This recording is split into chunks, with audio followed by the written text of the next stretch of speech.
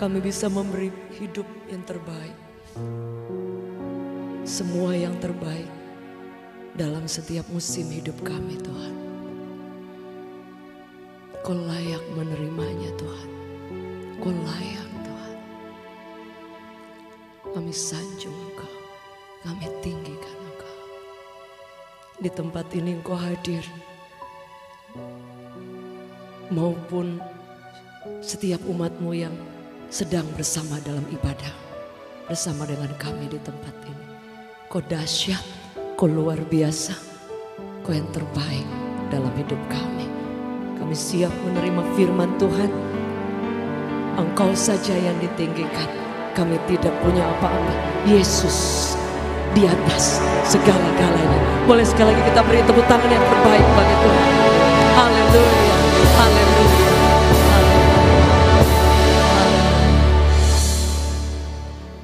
Penyembahan bahkan hidup yang terbaik yang kita pernah buat, kita pernah ambil, kita pernah berikan kepada Tuhan. Itu akan berdampak dalam kehidupan kita setiap hari. Dalam perjalanan iman kita. Setuju boleh katakan amin. Ada satu kisah dalam firman Tuhan. Ada seorang yang luar biasa dicatat bukan hanya ketika dia melakukan hal-hal yang luar biasa. Tapi Alkitab mencatat dengan jelas bahwa orang ini dicatat, ditemukan adalah orang yang memiliki roh yang sangat luar biasa. Dan itu tidak hanya kelihatan ketika dalam keadaan yang baik, dalam keadaan yang tidak baik teruji, saudara. Kehidupan kita adalah sesuatu yang transparan, yang tidak hanya kita yang tahu. Setuju boleh katakan amin. Tapi kehidupan kita akan dilihat dan ada sesuatu yang akan kita bisa lakukan yang membuat orang boleh melihat ada kekuatan kuasa Tuhan yang bekerja bahkan menyertai setiap kita. Ada firman Allah mencatat dalam Daniel 6, Saudara. Mungkin reverbnya kurangin dikit, hanya naikin. Thank you. Bapak Ibu Saudara yang dikasih oleh Tuhan. Ada satu kisah yang luar biasa. Alkitab mencatat Daniel adalah orang yang diangkat bersama dengan dua orang temannya yang lain. Di situ dikatakan bahwa lalu berkenanlah Raja Darius mengangkat 120 wakil-wakil raja atas kerajaan mereka. Mereka akan ditempatkan di seluruh kerajaan. Membawahi mereka diangkat pula tiga pejabat tinggi.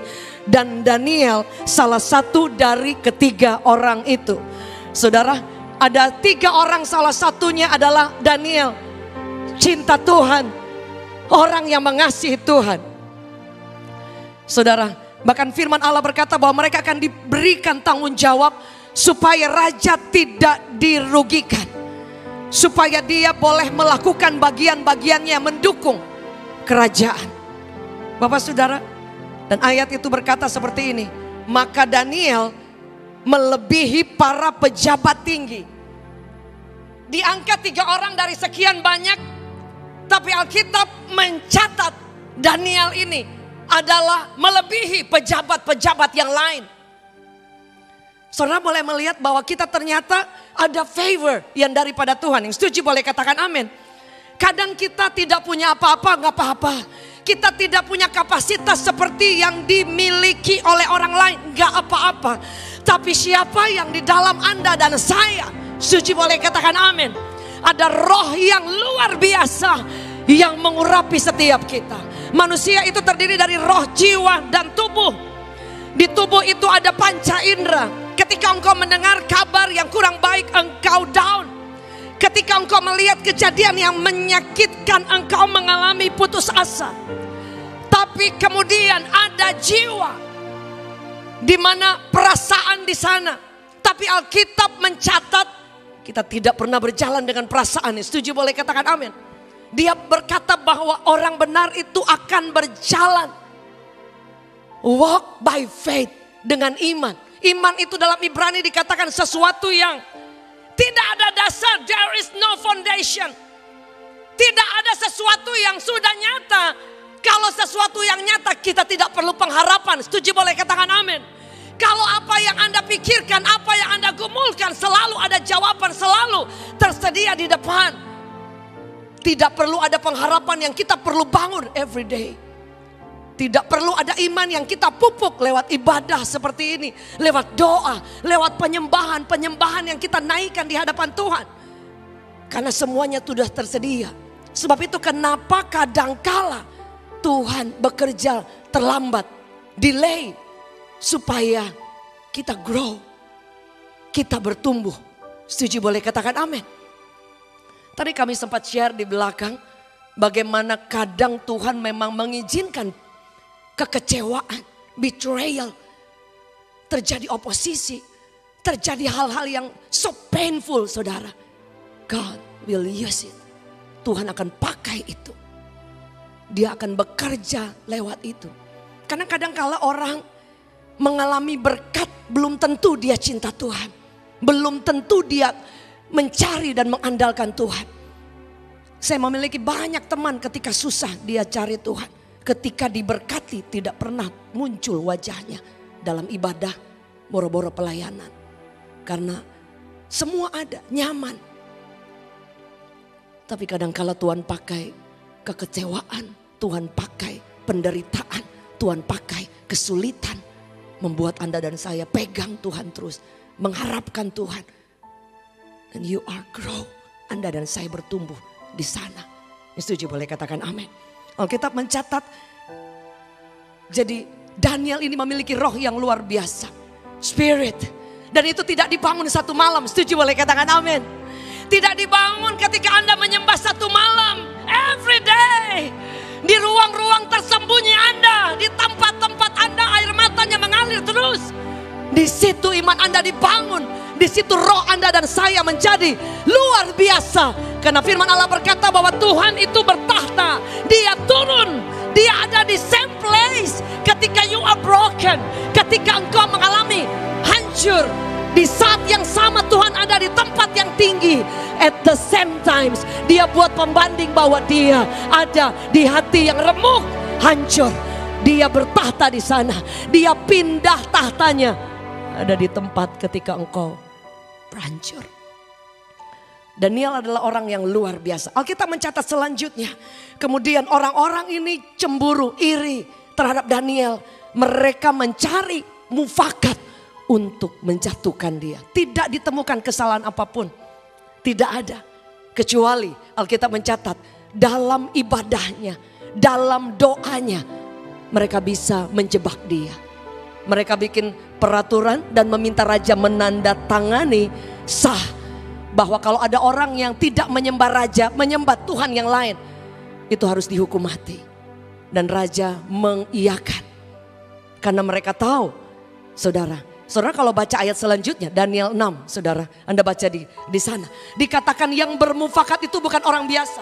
Pejabat-pejabat, gubernur, orang-orang petinggi semua bermufakat ingin menghancurkan, ingin melemahkan ingin membuat Daniel selesai hidupnya dengan alasan doanya. Bapak ibu saudara. Iblis kalau dia lihat Tuhan memberkati kita, dia nggak terlalu takut. Dia takut when you pray. Dia takut when you serving your God. Dengan bersemangat. Dia takut ketika engkau tetap menyembah Tuhan. Bahkan ketika di saat yang sama engkau sedang dalam kekecewaan yang dia takutkan ketika engkau punya keinginan untuk beribadah, untuk menyembah Tuhan, itu yang dia takutkan. Sebab itu dia akan cari segala cara. Kadang dia pakai orang-orang terdekat. Kadang dia ingin menjebak Anda dengan orang-orang yang Anda kenal. Supaya apa? Ketika Anda kecewa dengan orang-orang tersebut. Yang notabene mungkin anak Tuhan. Anda juga akan kecewa dengan Tuhan. Bapak ibu saudara. Dia tidak akan menghentikan Anda ketika berkat-berkat melimpah. Dia akan hentikan Anda ketika berkat bahkan belum datang. Kau tetap dalam penyembahan kepada Tuhan. Alkitab mencatat apa yang dilakukan oleh Daniel. Dikatakan saudara. Dikatakan bahwa Kemudian mereka bergegas supaya Daniel ini dijebak saudara. Tapi ayat 10. Daniel 6 ayat 10 berkata seperti ini. Demi didengar Daniel bahwa surat perintah itu telah dibuat. Jadi bukan Daniel tidak tahu bahwa ada penetapan, ada peraturan yang telah dibuat. Bukan dia tidak tahu saudara. Dia tahu tetapi pada saat dia tahu justru dia mengambil keputusan kalau Anda baca demi didengar Daniel bahwa surat perintah itu telah dibuat pergilah ia ke rumahnya saudara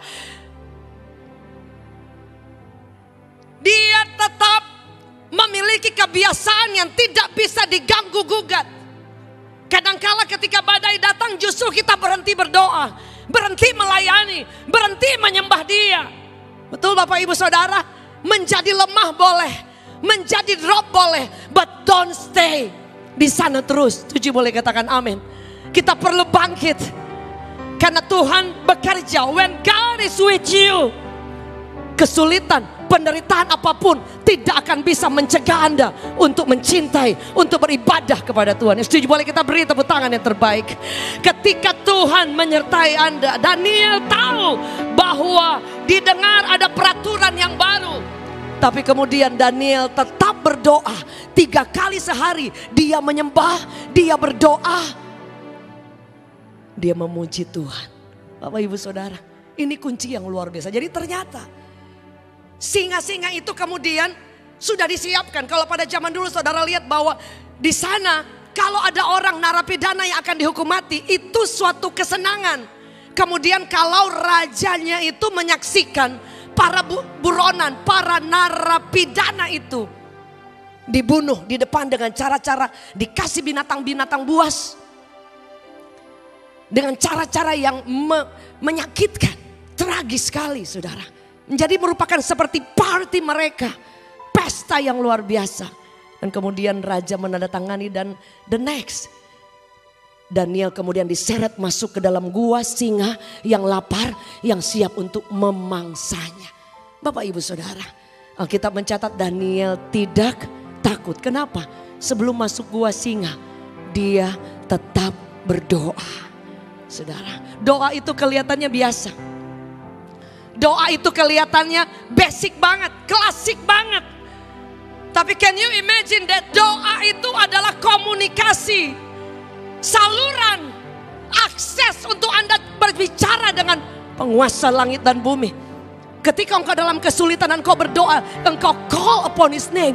Dia bisa perintahkan malaikatnya dan kuasanya turun. Dan membuka pintu ketika tertutup di depan. Setuju boleh katakan amin. Kapan? When you pray. Setuju boleh katakan amin. Daniel kemudian dikatakan ada dalam gua singa. Raja berkata seperti ini saudara. Ini sangat luar biasa. Kemudian Daniel dimasukkan ke dalam gua singa. Tapi ayat 10 yang saya katakan tadi, demi didengar Daniel bahwa surat perintah itu telah dibuat. Pergilah ia ke rumahnya dalam kamar atasnya ada tingkap-tingkap yang terbuka ke arah Yerusalem. Tiga kali sehari ia berlutut, berdoa serta memuji Allah. Tiga kali sehari saudara. Saya punya staff saudara yang bekerja. Dan kemudian dia setiap jam-jam ibadahnya tidak bisa diganggu gugat Ketika ada sesuatu bahkan yang saya sangat penting. Dia bilang, maaf bu, saya ibadah dulu. Aduh, saya kalau begitu jadi rasanya luar biasa. Mereka tidak diganggu gugat, nggak takut apa pun. Maaf bu, saya ibadah dulu. Ya nggak apa-apa. Saudara, ini orang yang bukan kenal Yesus. How about you and me? Kadang kita ya saudara ya, terima lagi mau doa aja, tiba-tiba telepon bunyi, kita bisa lebih pilih itu. Kalau jujur-jujur bangun pagi yang pertama kita buka handphone pengen lihat apa? Apa pesan hari ini? Siapa yang mention aku? Benar nggak saudara? Ada yang post tentang aku, postku berapa yang lihat? Kita suka lupa di surga tercatat berapa kali sehari. Ngapain aja tercatat. Saudara, sehingga saudara saya ingin share Nanti akhirnya apa yang membuat Daniel kemudian melihat kuasa Tuhan. When God is with you. Saudara, firman Allah berkata seperti ini. Saudara, dikatakan dengan jelas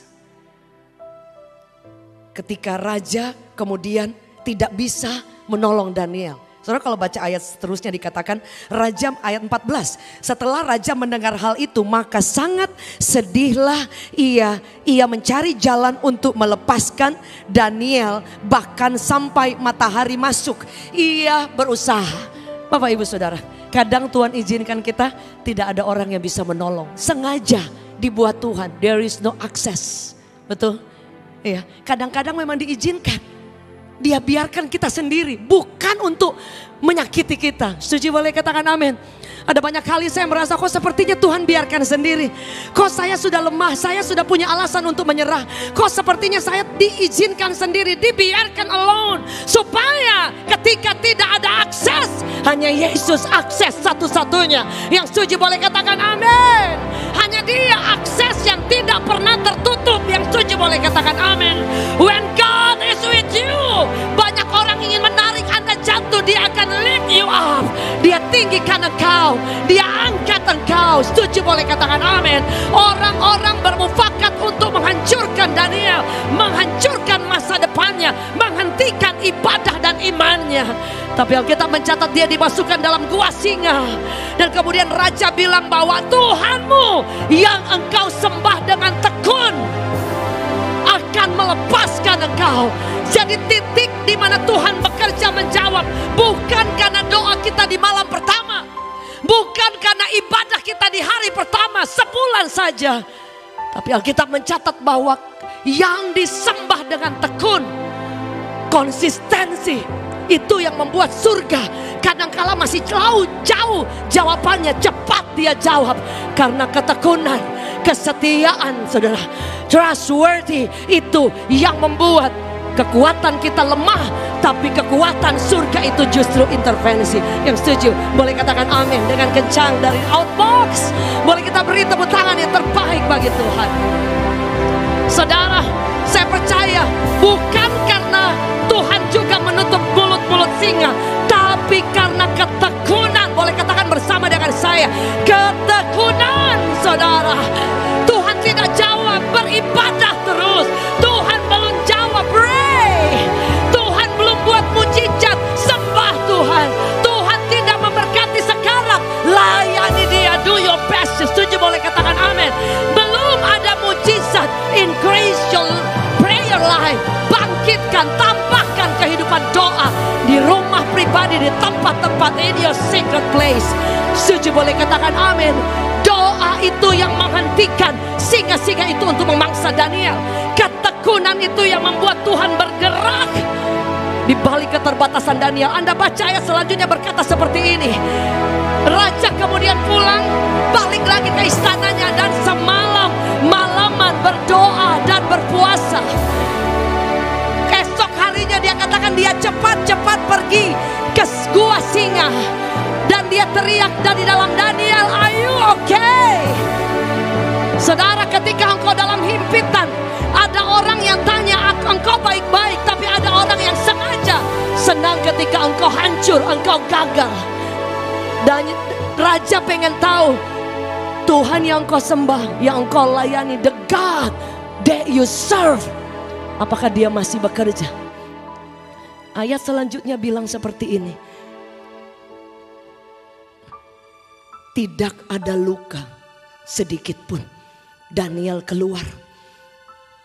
Penderitaan, luka bahkan seharusnya tidak akan luka. Tetap seperti itu. Bekas-bekas luka itu sometimes masih ada tapi sudah sembuh. Itu akan menyembuhkan banyak orang. Setuju boleh katakan amin. Saya bertemu dengan seorang anak muda dan dia bilang, dia kecewa dengan Tuhan. Orang tuanya berpisah. Di saat dia bertumbuh di dalam iman. Siapa yang bisa ngomong? Tapi saya cuma bilang, saya ingat tentang sesuatu. Saya bilang, Tuhan bisa bekerja lewat luka itu. Setuju boleh katakan amin? Karena bukankah di luar ada banyak keluarga-keluarga juga yang mengalami seperti itu. Dan ada anak-anak Tuhan yang diizinkan. Sekalipun keputusan orang tua, kesalahan manusianya. Karena manusia dikasih free will. Tapi sometimes kita tidak bisa menutup mata bahwa semua anak Tuhan oke. Okay. Banyak anak-anak Tuhan yang keluarganya berpisah. Saudara, this is the real. Setuju boleh katakan amin. Dan di mana Tuhan? Bagaimana Tuhan? Kenapa Tuhan? Itu banyak pertanyaan. Kita boleh bertanya kepada Tuhan.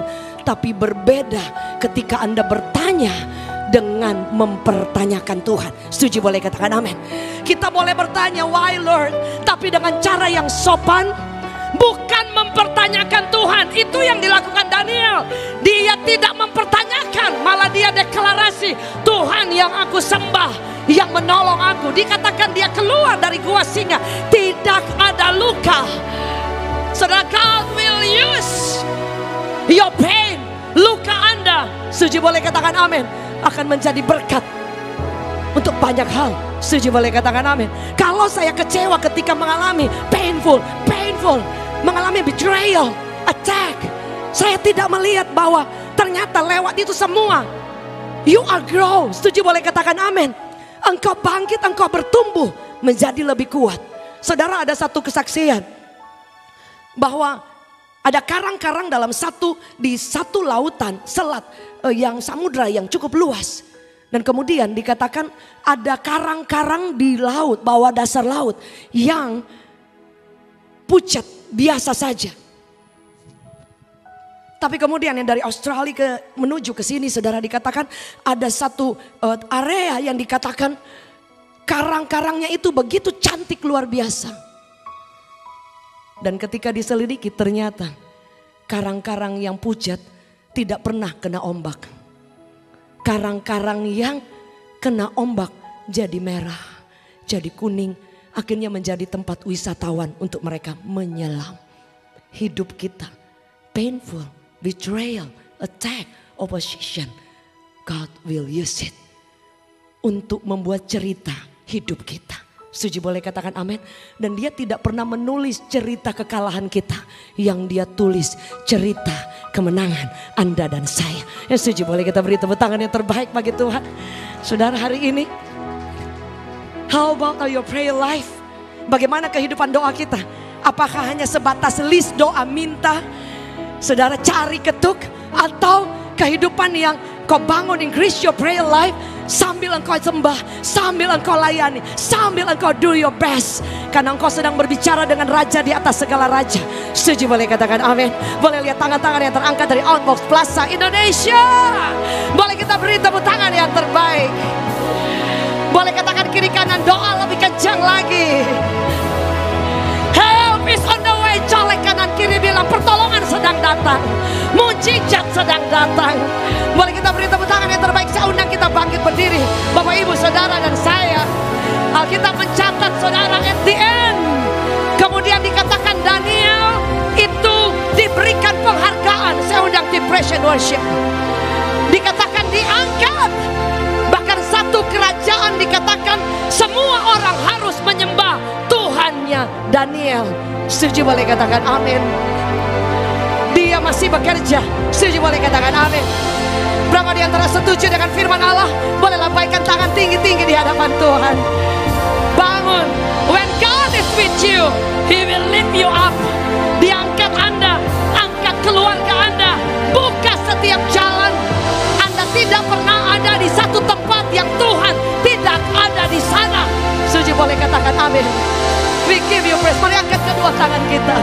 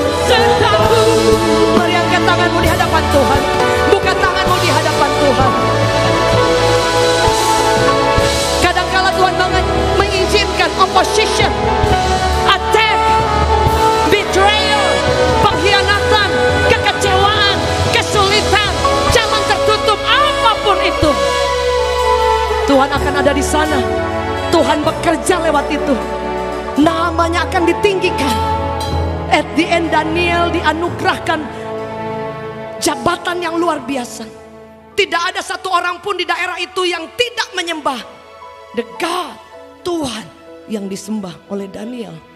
Kami buka tangan kami hari ini. We will never stop praying we will never stop serving our God. Worship Almighty God. Karena kami percaya ternyata itu dan ketakunan itu yang membuat kami melihat kuasa Allah menyertai kami. When God is with you, dia akan angkat, dia akan sembuhkan, dia buka jalan, dia yang akan mempromosikan. Setuju boleh katakan amin.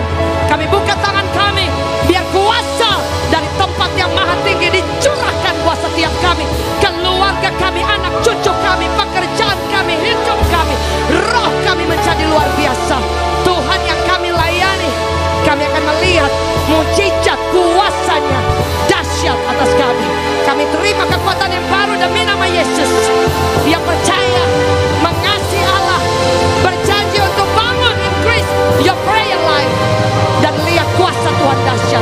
bangun increase your